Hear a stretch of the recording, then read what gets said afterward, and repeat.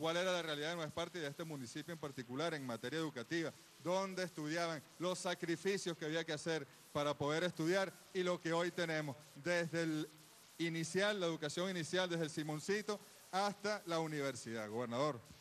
Gracias, vicepresidente. Un saludo, comandante en jefe, nuestro presidente, querido camarada Nicolás Maduro. Aquí estamos en el Valle de San Juan, como lo ha dicho nuestro, nuestro vicepresidente, y estamos en esta hermosa Escuela Técnica Robinsoniana Zamorana.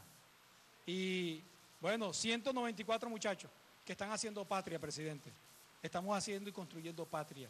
Y como dijo nuestro vicepresidente, hemos, hemos hecho una asamblea y mire, desde aquí, desde el Estado de Nueva Esparta, tiene todo nuestro apoyo, presidente, todo nuestro apoyo.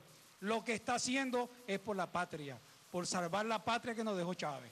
Usted sabe que tiene todo el apoyo al pueblo espartano y hay que seguir trabajando.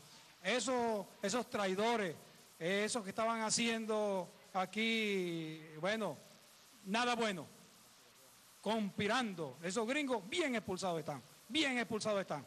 Esta es nuestra patria que nos dejó Chávez y tenemos que hacerla respetar porque nosotros somos soberanos e independientes y estamos construyendo y seguiremos construyendo esa patria grande que es el legado que él nos dejó.